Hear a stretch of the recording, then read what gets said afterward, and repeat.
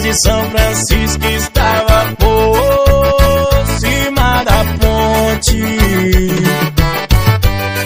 Esse é o grande motivo que eu não pude atravessar. Mas isso eu achei foi bom. Foi obrigado a voltar a casa do meu amor. Passei